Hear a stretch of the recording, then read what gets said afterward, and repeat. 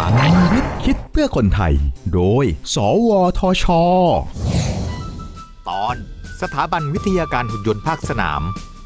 หุ่นยนต์เป็นหนึ่งในสิบของอุตสาหกรรมเป้าหมาย ที่รัฐบาลใช้เป็นนกลไกในการขับเคลื่อนเศรษฐกิจเพื่ออนาคตของประเทศ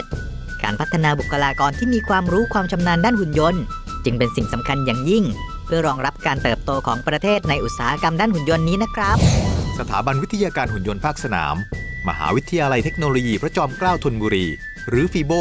เป็นสถาบันแห่งแรกในประเทศไทย ที่เปิดหลักสูตรและให้ปริญญาเฉพาะทาง ด้านวิศวกรรมหุ่นยนต์และระบบอัตโนมัติ ในโอกาสครบรอบ 20 ปีฟีโบได้จัดกิจกรรมเปิดบ้าน และจัดแสดงนิทรรศการหุ่นยนต์ที่ร่วมพัฒนากับหน่วยงานต่างๆ เช่นข้าวต้มมัดหุ่นยนต์ต้อนรับของ สวทช รวมทั้งเปิดโอกาสให้ผู้สนใจ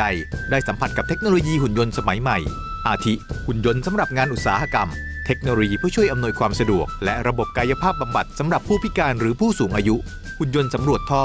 เครื่องช่วยเดินสำหรับสุนัขพิการ เทคโนโลยีการควบคุมหุ่นยนต์ผ่านระบบเครือข่าย และหุ่นยนต์เพื่อใช้ในการเรียนรู้วิทยาศาสตร์ สนับสนุนการพัฒนาเทคโนโลยีเพื่ออนาคตของประเทศไทย โดย สวทช พัฒนาคนด้วยวิทยาศาสตร์ พัฒนาชาติด้วยเทคโนโลยี สอบถามรายละเอียดเพิ่มเติมได้ที่ สวทช 02 564 8000